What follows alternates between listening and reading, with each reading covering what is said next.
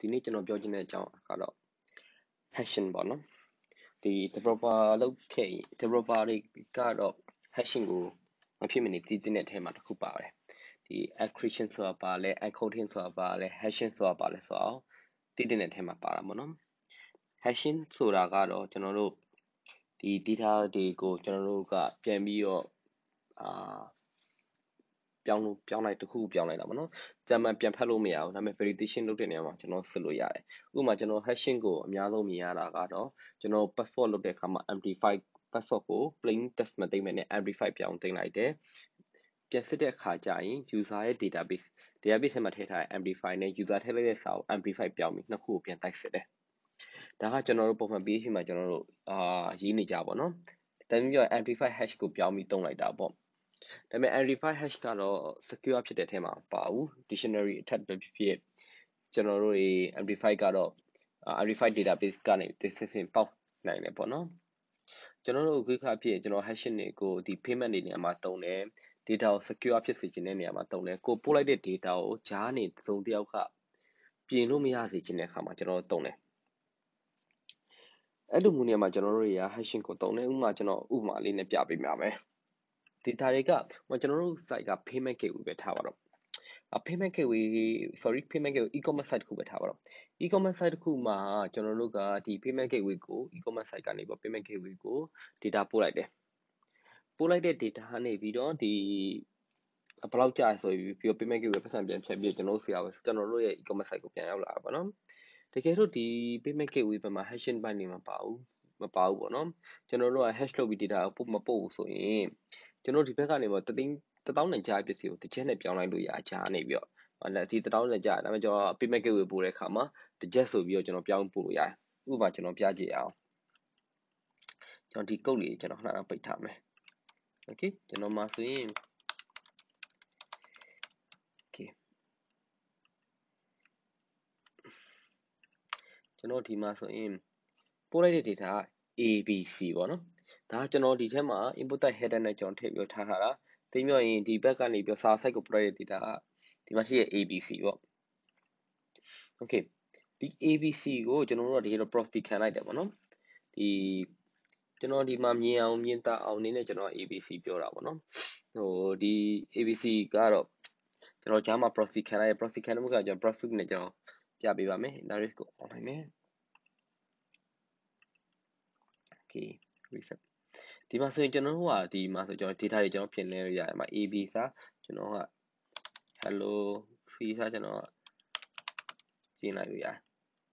ဒါဆိုရင်ကျွန်တော်ဒီဘက်ကနေပြီးတော့ပို့လိုက်တဲ့ data ABC ဖြစ်ပေမဲ့ဂျားမှာကျွန်တော်တို့တစုံတစ်ယောက်ကဝင်ပြင်လိုက်တာဖြစ်ဖြစ်ကျွန်တော်တို့ကတစ်ခုခုဟိုဘက်ကိုပို့လိုက်တဲ့ data ကိုပြောင်းတဲ့အခါမှာပြင်လိုက်တာဖြစ်ဖြစ်ပေါ့နော်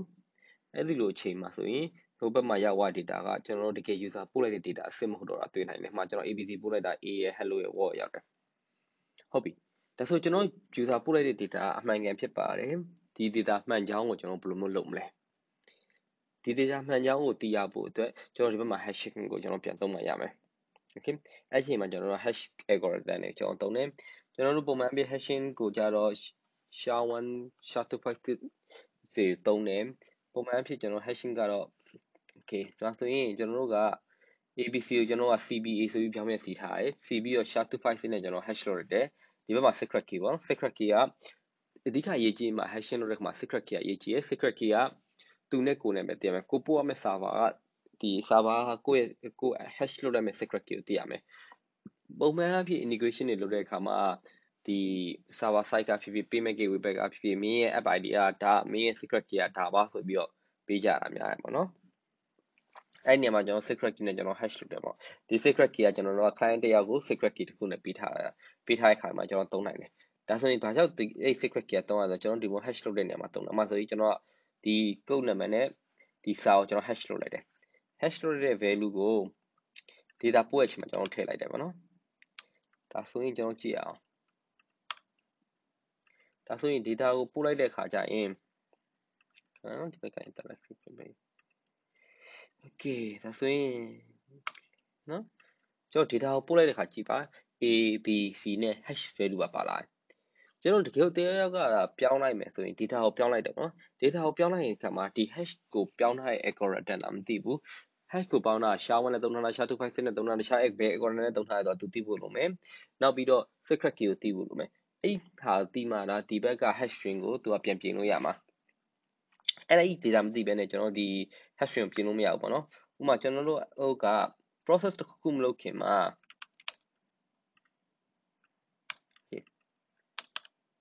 process တစ်ခုခုမလုပ်ချင်မှာကျွန်တော်တို့ကဒီ hash string ကိုကျွန်တော် generate လုပ်တယ်ပေါ့ okay hash string ကိုကျွန်တော်တို့ကမ hash string ကိုဒါသူပို့လိုက် data ကိုကျွန်တော်တို့ကပြန်စီလိုက်တယ်သူပို့လိုက်တဲ့ data 321ကျွန်တော်တို့မှ321စီထားတဲ့321စီလိုက်တယ်ပြီးရင်သူ့အတိုင်းပဲကျွန်တော် algorithm နဲ့ hash ပြန်လုပ်လိုက်တယ် ဒီ okay ဒီ value ကဒါဒီသူပို့လိုက်တဲ့ my hash နဲ့ value တူနေရမယ်တူရင် yes မတူရင် no ဆိုကျွန်တော်ပြန်ထားတယ် okay အဲဆိုတူနေလို့ yes ပေါ့နော် okay တရားရောက်ကဒီအချိန်မှာ data ကိုပြင်လိုက်မယ်ပို့လိုက်တဲ့ data ကိုကျွန်တော်တို့ဂျာမှပြင်လိုက်မယ်ပေါ့နော်။မကျွန်တော်တို့ကဒါပြင်လိုက်ပြီ။အဲဒီ hash algorithm ကိုကျွန်တော် ဘာနဲ့ပြင်ရမလဲဆိုတော့မသိဘူး။မသိဘူးဆိုတာကဘယ်ဟာလို့သုံးထားလဲ secret key မသိရကြပါဘူး။အဲဒါဆိုကျွန်တော် no ဆိုဖြစ်သွားပြီ။တနည်းပြန်တရားရောက်ကဒီ data ကိုပြင်လိုက်တော့ကျွန်တော် process မလုပ်တော့ဘူး။ဒါဆိုရင်သုံးတယောက်ကဂျာကနေပြီးတော့ middleman အထက်နဲ့ကျွန်တော်တို့ဒီဟာဒီဟောလာပြီး attack လုပ်လို့မရဘူးပေါ့နော် hashing ခံထားလိုက်ပုံမှန် encryption သူများရဲ့တော်တော်တချို့ရ encryption ခံကြတယ် encryption ခံတဲ့အခါဆက်ဆိုင်ကျွန်တော်ကဒီအရန်ကိုကြီးကြီးမားဟာမဟုတ်ဆိုရင် encryption စကျွန်တော် hashing ကိုပို့ပြီးတော့ အာအသုံးများရတယ်ပေါ့နော်။ဘာကြောင့်လဲဆိုတော့ hashing ကဒီ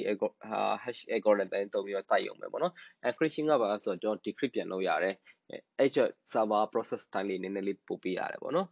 အဲ့စာကျွန်တော်တို့ကဒီလိုမျိုး data မှန်မှန်ပို့လိုက်တဲ့ data မှန်နေလားမှားနေလားကြားမှာတရားရောက်ပြင်လိုက်မလားတိအာမသိတဲ့အခါမှာတေချာအောင်ဆိုပြီးကျွန်တော်တို့ကအာဒီ hashing algorithm ထည့်ရပါပေါ့။မှာကျွန်တော်ဘယ်လိုမျိုးတွေသုံးလဲဆိုတော့ကျွန်တော်တို့တွေမှာဒီဟို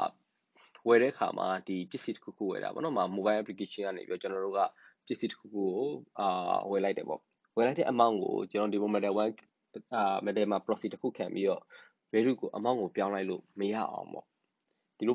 ကျွန်တော် mobile phone ကဝယ်လိုက်တယ်ဒီမှာ value ကို amount ကိုပြောင်းလိုက်တယ်ပြောင်းလိုက်တဲ့အခါမှာကျွန်တော်တို့ကတစ်ထောင်နဲ့ပစ္စည်းက reject ဖြစ်ပြီးတော့ payment gateway မှာ reject ပဲပေးပြီးမှ approve ဖြစ်သွားတယ်အဲအဲ့လိုမျိုးကိစ္စတွေမဖြစ်အောင်ကျွန်တော်တို့ဒီလို ဂျာမှာ hash ခံလိုက်တဲ့အခါမှာ okay တစ်ထောင်နဲ့ပစ္စည်းတစ်ထောင်ပြန်ပစ္စည်းကို reject ပြောင်းလိုက်တယ်ဒါပေမဲ့ hash algorithm က hash ပြန်လုပ်တဲ့အခါမှာပို့လိုက်တဲ့ hash နဲ့